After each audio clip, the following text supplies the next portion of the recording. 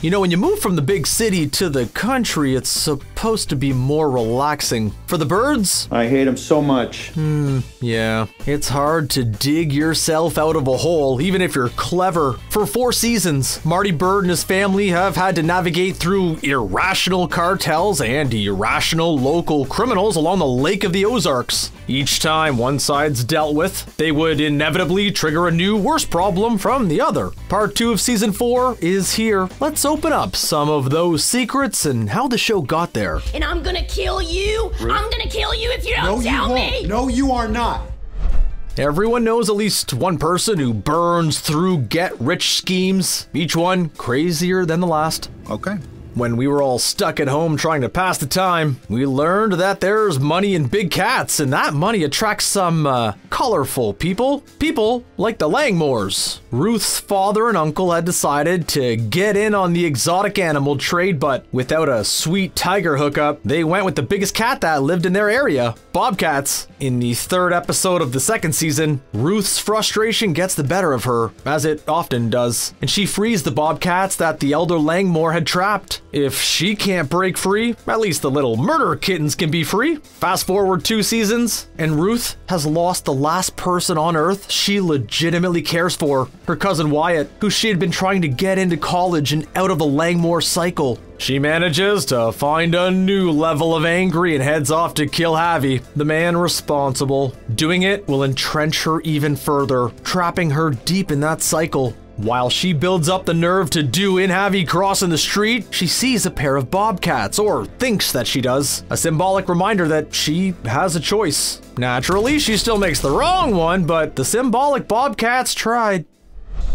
In 1994, there was a hip hop concept album that told the story of a man growing up in the Queensbridge, trapped by his environment, making what he can of it, and yearning for a way out. While it seems like an odd fit at first, Ruth can really relate to the overall themes from the album Illmatic by Nas. It's no wonder that Ruth is a fan of 90s East Coast hip hop. She's a big enough fan, in fact, that she'd make a pit stop on a revenge trip to tell Killer Mike she loves his uh, stuff. I appreciate you. Thank you. Ruth's love of East Coast hip hop from the 90s was seated in the third episode when she asks Tuck if he's into artists like Easy E and Tupac. From there, the showrunners built Ruth's fandom with Notorious B.I.G. figuring into Ruth's playlist over the course of the series. For Ruth's Revenge Ride, music supervisor Gabe Hilfer suggested Nas's Illmatic as the soundtrack for the episode. Killer Mike's appearance came as a result of an unexpected friendship between Laura Linney, who plays Wendy, and the rapper. Turns out Killer Mike was a big fan of Linney's from the show The Big C, and on a flight that they shared, he talked about her and about what a big fan he and his wife were.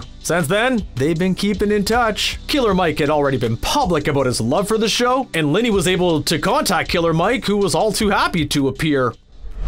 Killer Mike isn't the only musical fan of the show to have their fandom rewarded. Broadway soprano Rebecca Luker, a three time Tony Award winner, became a fan of the show under less than stellar circumstances. She was diagnosed with ALS, also known as Lou Gehrig's disease. While she was offstage, she told the New York Times that she'd been watching Ozark in lieu of other musicals. Sadly, Luker succumbed to her condition in December of 2020. As a tribute to their Broadway fan, when Ruth and Rachel see a lawyer about the status of Darlene's shares in the casino, the lawyer they visit is named Rebecca Luker. Laura Linney posted a memorial on her Instagram account for the singer when she passed. With season 4 set to be the conclusion of the saga of the Byrdes in the Ozarks, the showrunners were faced with the obligation of bringing all the stories around to a satisfying conclusion. 10 episode seasons has become the new default for streaming shows in the new landscape, but showrunner Chris Mundy felt the show needed a little extra time to bring the series home. After negotiating with Netflix, they settled on 14 episodes split into two, so they still felt distinct but allowed the show to finish without bleeding over into another season. Even with the extra episodes, the ones for the second half of season 4 ran longer than normal, with the finale topping 70 minutes. Part of the allure of so called prestige television is that it brings with it theatrical production values. That means shooting on location. Not, of course, on location in the Ozarks. Like many productions, most of Ozark was shot in and around the Atlanta area. Around a lot of the Atlanta area, it appears. Kemp Film TV Video was able to get a hold of a production schedule that showed that the fourth season would cover 40 unique locations. To make things even more complicated, those 40 locations were covered in 30 shooting days. That's a lot of crew moves. There was a time when television shows didn't really have endings. There was no need to plan anything out except to continually get renewed. Shows like Babylon 5, where an overall arc for the series was intended from the beginning. Now, serialization is all the rage as shows like Breaking Bad and Lost set the stage. Bringing the shows in for a satisfying landing has been a tricky proposition for a lot of shows. There are several high profile belly flop endings. As the Byrdes spiraled further and further, there had to be an endgame for them, and showrunner Chris Mundy had settled on what that would look like more or less by season 2. Though there were still some surprises and revelations along the way, but he told the Hollywood Reporter that he knew the emotional landing he wanted and tried to set that up as the stages progressed. Marty's whole plan relies on everyone acting in a cool and calm, rational manner and not do anything rash. So, naturally, everyone around him does eight rash things before breakfast. The king of unpredictable behavior in Ozark is Wendy's brother Ben. Ben's arrival in season 3 not only derailed everyone's plans, it went back to the rails and braided them before throwing them in a tree. The seeds had been sown for Hurricane Ben all the way back in season 1, when an offhand line about Wendy's delinquent delinquent brother was mentioned. Mundy decided to introduce him in the flesh as a complication for season 3, ultimately being the final spark that almost catches the Byrdes up. Jason Bateman, along with his sister Justine, has been around for a while, with his first role in Little House on the Prairie. But for modern audiences, Jason Bateman's biggest claim to fame is his role as part of the Bluth family on Arrested Development. In fact, part of the allure of doing this show was to shake the perception of Bateman as a comedic straight man. Not that he's running away from his success, there were subtle nods to his time as a Bluth, where he played a relatively smart guy no one listened to, so he wasn't straying that far. One of the longest setup for payoffs for a gag was the senior Bluth repeating, Always money in the banana stand. which turned out to be literal. He stashed cash in the walls of the banana stand, something Michael only learned after it had burned down. Stashing money in the walls becomes a practice for the Byrdes as well. The kids even talk about finding some left over as the family made their final doomed attempt to leave the Ozark adventure behind them, saying that they left it there for the next tenant to find.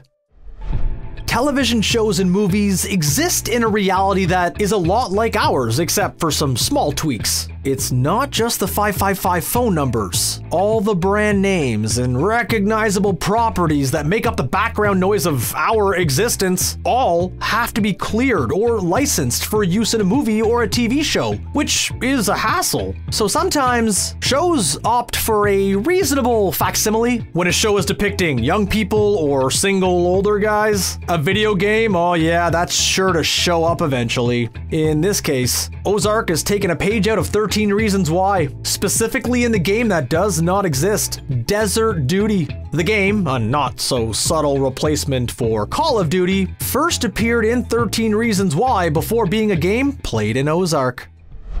If we were prone to generating elaborate theories out of some barely noticed minutia, there might be evidence that the entire run of Ozark is actually all of the characters trapped in a nightmarish afterlife. And why? Well, Hannah Nordum tweeted out something she noticed in the background of the show, specifically the televisions. It's not just that they're all playing a Canadian Football League game or even the same Canadian Football League game, but they're playing the same highlight between the Toronto Argonauts and the Alouettes from where else? Montreal. That would explain why so much seems to happen in a seemingly short amount of time. Because in Ozark, there is no real time. Just that one moment between Canadian football teams played over and over again. Or it's just a handy bit of footage to throw on a TV playing in the background. It's one or the other. The old adage for writers is to write what you know, and there are a surprising number of authors who have had dragons and or spaceships in their lives apparently. Show creator Bill Dubuque had spent his teenage years working in the Lake of the Ozarks at a resort and marina and felt that it would be a great backdrop for the show. In a relationship that fits right in with the show, during his time as a deckhand, he was known primarily as Tall Paul's brother. As mentioned before, the role of Marty Byrde runs into contrast to the role of straight man that was Michael Bluth or his character in Hancock, but there was more than just breaking out of an acting mold. Originally, Bateman was going to be the sole director for the first season of the show. Without enough time to prepare for the full season, Bateman ended up only directing two of the first season episodes, and then more as the series progressed, including the finale. The last two episodes of part one of season four were directed by Netflix veteran Robin Wright, a lot of actors have their quirks. Brad Pitt and Robert Downey Jr. like to snack while they act in their scenes, just like Run DMC prefers their Adidas. Jason Bateman has a particular fondness for New Balance sneakers, specifically New Balance M1400 DMs in the military gray. Not a particularly easy shoe to find. Bateman's characters all share his love for the same pair of military gray trainers. Did you notice that? Never underestimate the power of branding. Sometimes, when a show or movie is popular enough, they start to leak out into the real world. In Los Angeles, you can have food delivered from Los Pollos Hermanos, Gus Fring's money laundering company from Breaking Bad. There's even a bar modeled off the cantina in Star Wars called Scum and Villainy. Even though it's a show about corruption and organized crime running rampant on the shores of the Lake of the Ozarks, the tourist spot has embraced the attention from the show, including opening up a Marty Byrde's restaurant. Probably best to keep the books tight on that one. These days, people are becoming more aware of how movies and TV shows use color palettes as part of the show. The Defender show on Netflix highlighted colors associated with the heroes. And of course, as we all know, in order to indicate a shot taking place in Mexico, everything gets a nice coat of yellow. Ozark has its own hue that it uses in all of its shots blue. The intent there is to create the feeling of everything happening under the cover of darkness, of being underhanded.